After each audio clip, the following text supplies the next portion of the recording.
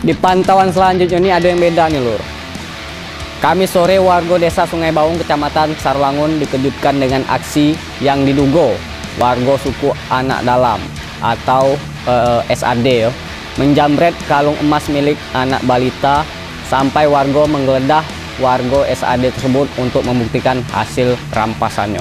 Tapi kabarnya uh, suku suku anak dalam ini sudah minta maaf nih lur. Kayak mana pantauan kita tengok di pantauan Bang Jack.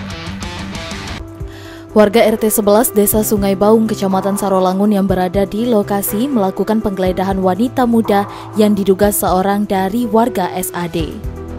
Perempuan muda SAD digeledah lantaran kedapatan mencuri perhiasan yang dikenakan oleh seorang anak di desa tersebut. Babinsa Desa Sungai Baung Kopda Musdar saat dihubungi via ponsel membenarkan informasi tersebut bahwa didapatkan emas hasil curiannya di dompet milik perempuan muda SAD tersebut. Setelah didapatkan, wanita muda SAD dilepaskan warga lantaran mengakui dan meminta maaf kepada warga. Sementara Yeti, orang tua anak yang dirampas kalung perhiasannya menjelaskan, di saat anaknya bermain, Yeti mendengar anaknya menangis lantaran kalungnya dicuri. Yeti memberitahu warga setempat untuk menggeledah dompet perempuan muda SAD tersebut dan ditemukan kalung milik anaknya. Selamat Riyadi, Cek TV melaporkan.